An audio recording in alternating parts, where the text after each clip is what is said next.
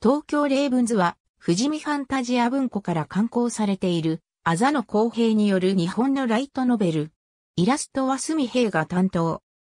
現代の東京で発生する霊的災害、通称、霊災に立ち向かう陰陽師を目指す少年たちの学園歌劇ファンタジーを掲げており、作者のアザノによれば、前作の舞台設定、主人公の設定などを考慮した上で、あらすじを練ったところ、陰陽師の、そして10代の少年たちの物語に行き着いたとのこと。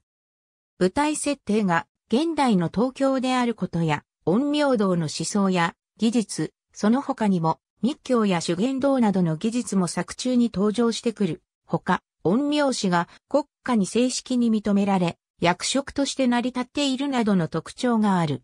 なお、作中に登場する陰陽師はその姿なりから闇ガラスとも呼ばれており、作品のタイトルにもなっている。ドラマ CD 化がドラゴンマガジン2010年11月号にて発表された。2013年10月から2014年3月までテレビアニメが放送された。詳細はテレビアニメを参照。恋の子はアニメ版のもの。十二新章その他の職員霊的災害。戦中に土見門夜行が取り行った第二式の失敗により、東京を中心に頻発するようになった異常現象のこと。自然界に満ちる霊気のバランスが崩れて、正気へ転じ、これが自然界が持つ自浄作用の限界を超えることで発生する。陰陽庁によって規模と脅威度に応じた段階が定められており、自然レベルでの回復を見込めない霊気の変更、災害へと発展する直前の段階をフェーズ1と定義する。これが進行することで、フェーズ2へと移行し、強まった正気が周囲へ物理的被害を与えるほどになる。この段階を超えると、大量の正気は実体化し、ヌエや野土、牛木といった異形の存在となって周囲に正気を撒き散らす移動型、動的な霊祭を引き起こす。これがフェーズ3である。さらにフェーズ4へと進行すると、一つの巨大な霊祭を中心として、無数の霊祭が連鎖的に発生し、無数の霊的存在が実体化して暴れ回る百鬼夜行となる。なお、一説ではさらにその先、進行した霊祭が世界に受け入れられ偏在化するフェーズ5が存在するとされる。富士見ファンタジア文庫レーベルにて発売。期間は2018年10月現在20巻。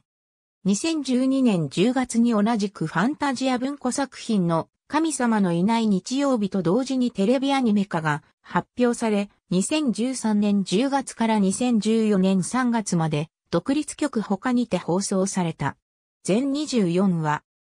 作品の舞台の地元局である東京 MX が制作委員会に参加し、本放送枠とは別にリピート放送枠も確保しての放送を行っていたほか、放送直前には、土見門夏目役の花沢香菜が顔出しで出演する独自のクロスプログラムも放送していた。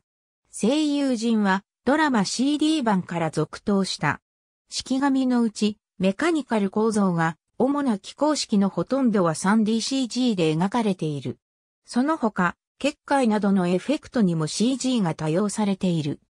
次回予告については、第1話から第19話まではコンが登場するコミカルなショートアニメで、そのうち第13話までは監督の金崎騎信が台本を考えていたが、第14話から第19話までは、婚約の豊崎愛生によるアドリブとなっている。第20話から第24話まではそういった内容から一変し、土見門夜行のセリフを連ねた文面が表示されるのみとなっている。レブラジ東京レーブンズラジオのタイトルで2013年10月7日から2014年4月14日まで音泉と響きラジオステーションにて配信された。毎週月曜日更新全27回。ジェネオンユニバーサルエンターテイメントジャパンは2013年12月9日に NBC ユニバーサルエンターテイメントジャパンに社名変更を実施したが、作中での制作クレジットは旧社名のままとなっている。ジェネオンユニバーサルエンターテイメント、富士見書房、ブシロード、8ビット、IO プラス、東京 MX。ありがとうございます。